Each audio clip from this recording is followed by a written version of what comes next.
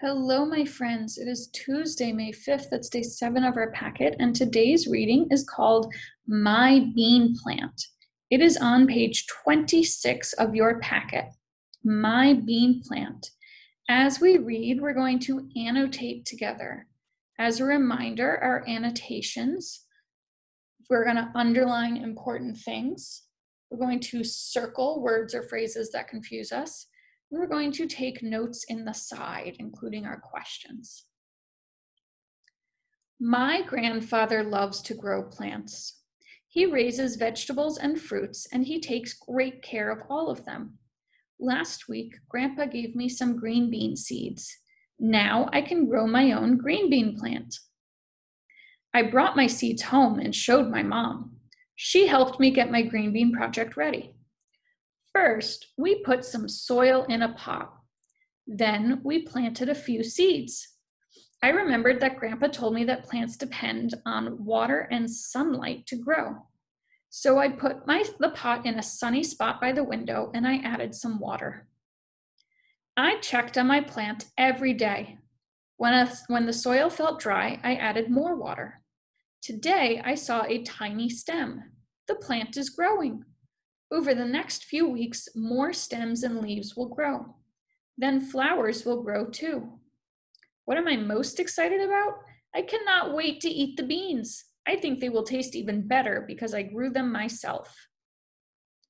All right, my friends, annotate anything else you want to annotate. I know that I'm remembering that when you see a tiny stem coming up, the vocabulary word we learned for that was shoots.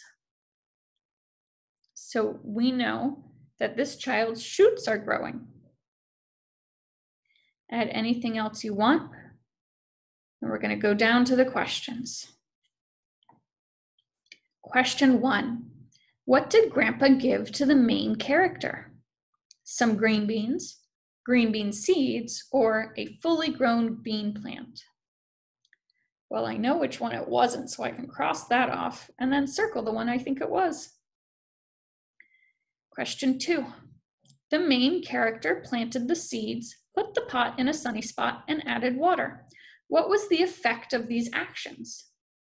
The soil got dry right away, a tiny stem grew after some time, or the seeds quickly turned into green beans.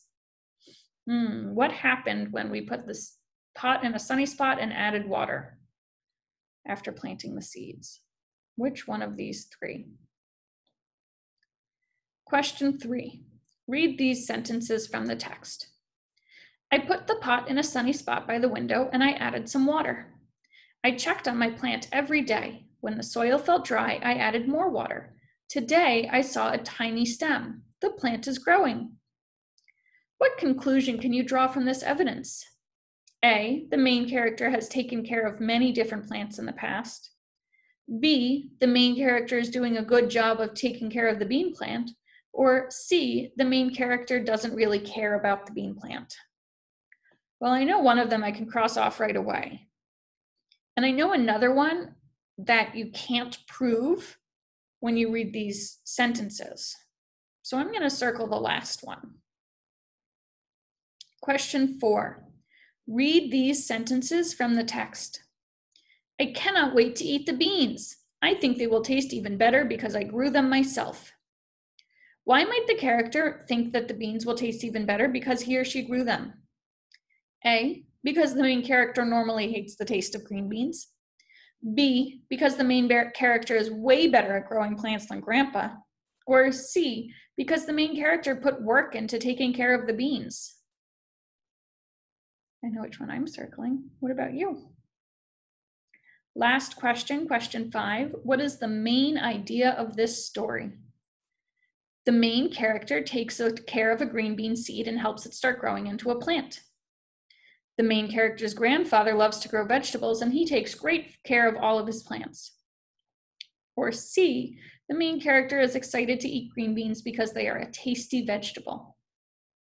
So, which one of these three is the story mostly about?